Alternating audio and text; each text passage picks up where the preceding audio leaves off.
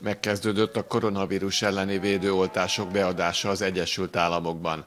Először az egészségügyi dolgozókat oltják be a kampány során, amely az ország történetének legátfogóbb vakcina programja. Első körben mintegy 150 amerikai kórház részesül a Pfizer-BioNTech vakcinájából, ami jelentős lépés a járvány megfékezéséért vívott küzdelemben. Az első vakcina beadásáról Donald Trump is megemlékezett, gratuláció Amerikának és a világnak tette közé az amerikai elnök a közösségi médiában.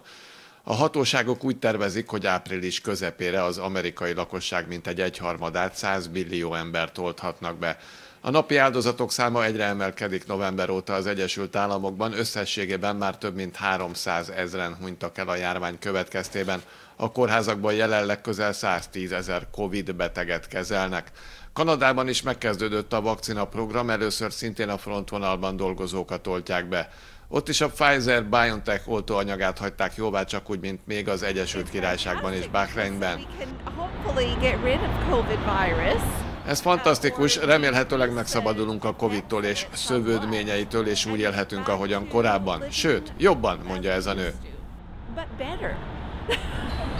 Kanadában úgy számolnak, hogy mintegy 250 ezer adag oltóanyaghoz juthatnak hozzá az év végéig.